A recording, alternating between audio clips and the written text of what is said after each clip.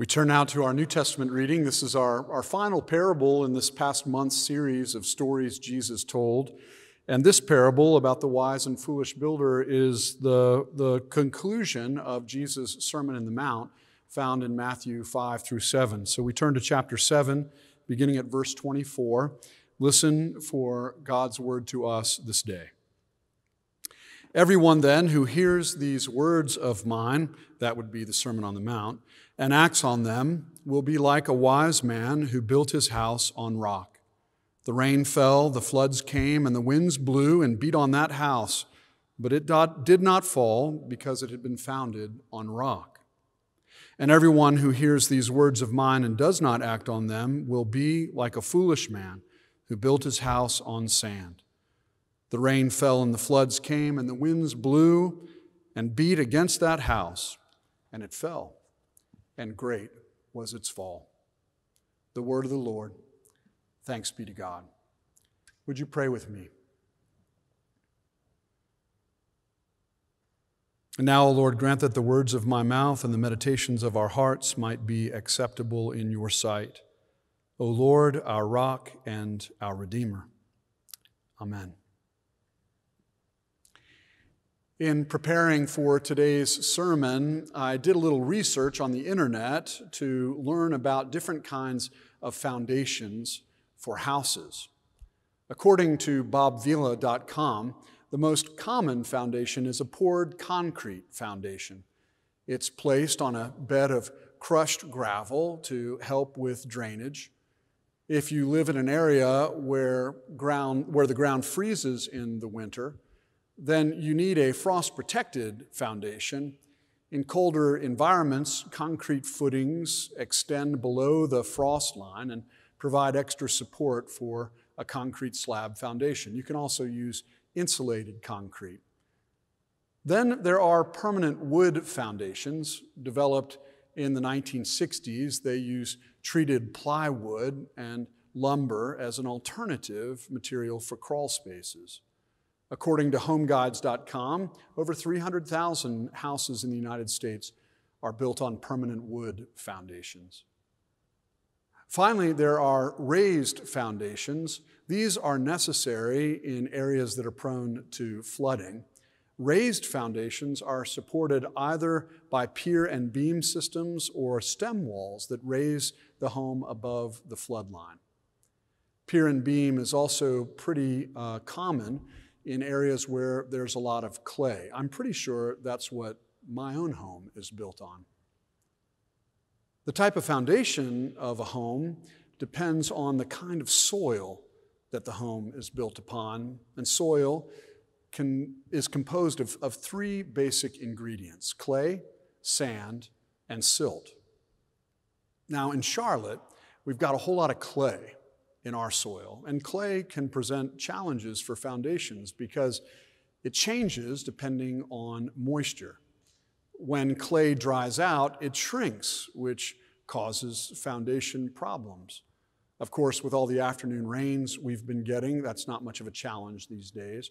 But too much moisture can also cause trouble because it causes clay to expand and soften, and that can create trouble as well. Now, nothing reveals foundation problems quite like a storm with its rains and floods and winds. Storms expose the weaknesses of the structures we build. When a great deal of water comes at once, watch out. Look what happens along the coastline when hurricanes come. In a row of houses, some will make it through the storm, others will not. Sometimes that's just luck, but most of the time, it's about the house's foundation. Storms come in many forms in our lives. Sometimes they are personal a health crisis, the loss of a job, the death of a loved one, a divorce. These events rock our respective worlds and they test our lives' foundations. Sometimes storms strike more broadly. COVID 19 has been a terrible storm that has hit our world. And like a strong storm, it's exposing the weakness of our society's foundations. Cracks that have been there quite some time are becoming crevices that too many people are falling through. Inequities present for generations are being exposed for all of us to see. Access to testing and getting timely results is very different for people across the economic spectrum. The wealthy, well, they get their results in a matter of days or even hours, I hear, if you're a pro athlete, but the poor wait weeks. Public schools will be virtual in the fall, while most private schools will not. So, roughly 12% of American children will continue to advance in their learning at a faster pace, while 88% will struggle from home. Working class Americans are facing depression like circumstances given record unemployment rates, but the stock market, it just keeps going up. And so the economic divides that define our society continue to expand. Some political leaders prey on these divides, believing the strategy will help them gain power or keep it. How long can we hold together amid this storm?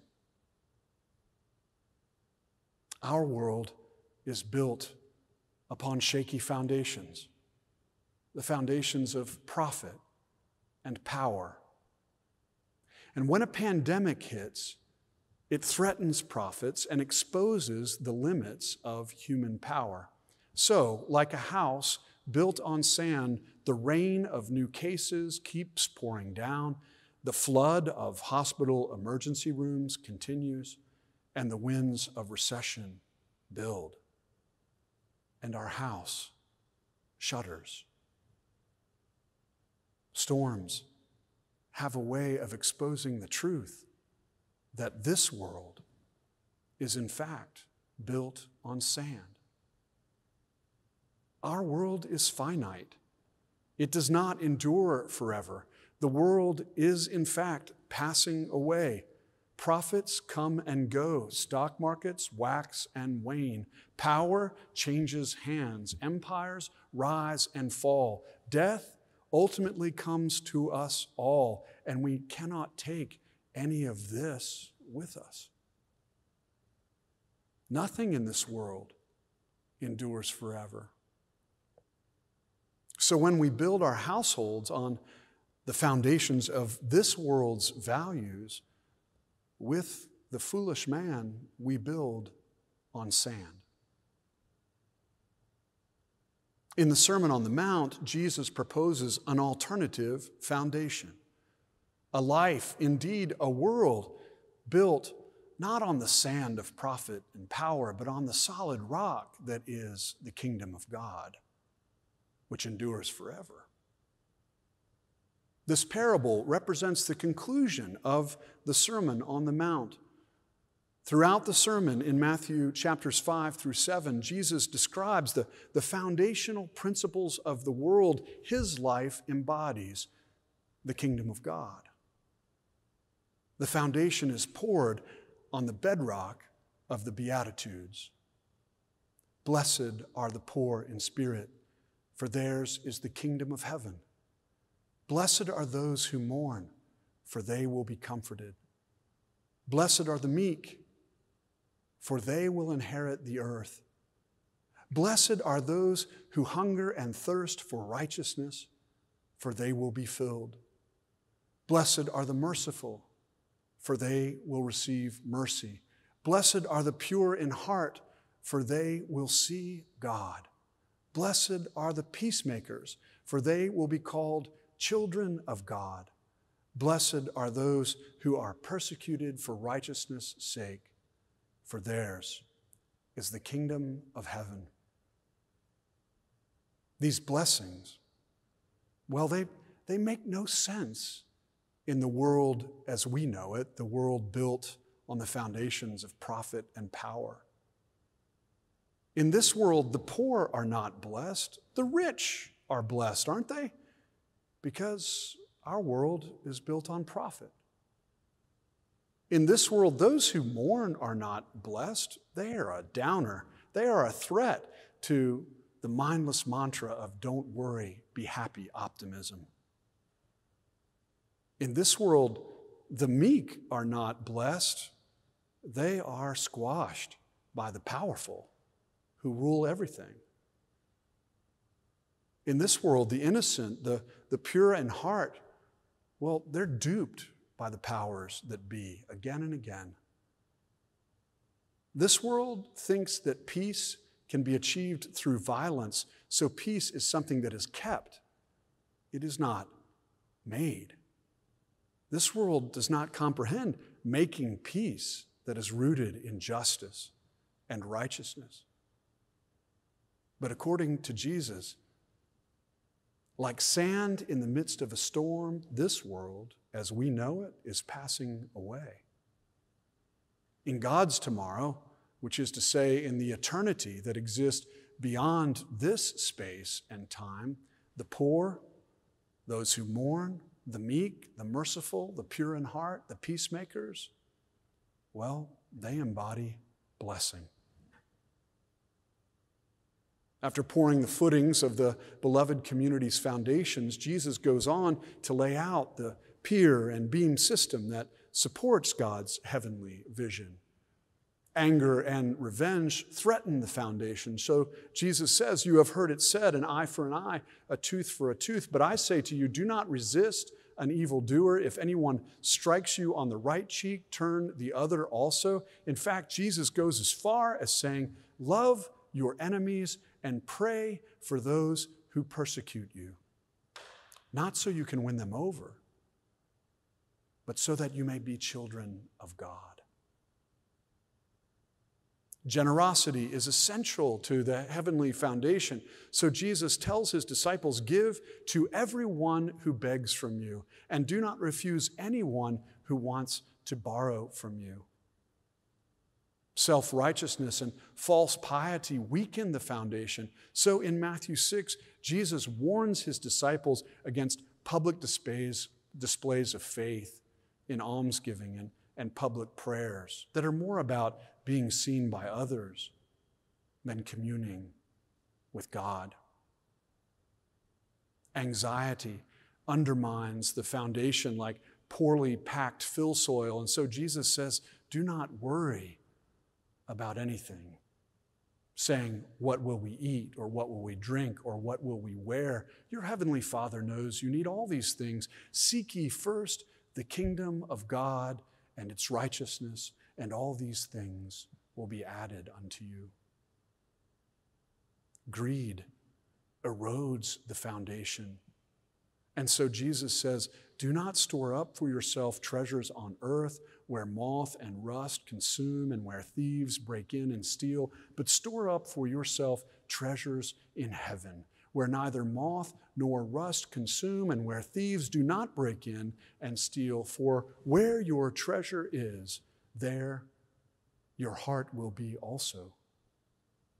He goes on to say, No one can serve two masters. For a slave will either hate the one and love the other, or be devoted to the one and despise the other. You cannot serve God and wealth. One is a bedrock, the other, sand. Love, mercy, grace, justice, righteousness, peace, generosity, humility, faith. These are the elements that come together to form the bedrock that is the foundation of the kingdom of God, the beloved community, God's vision for the world's tomorrow, the reality of eternity beyond this space and time. Beloved, this foundation can withstand any storm for it endures through all time. No amount of rain, no 500 year flood, no hurricane force winds, no lack of money or resources, no sense of powerlessness, not even an empire's cross can bring down a house built on this eternal foundation. In the words of the old hymn, on Christ, the solid rock I stand. All other ground is sinking sand. All other ground is sinking sand. Amen.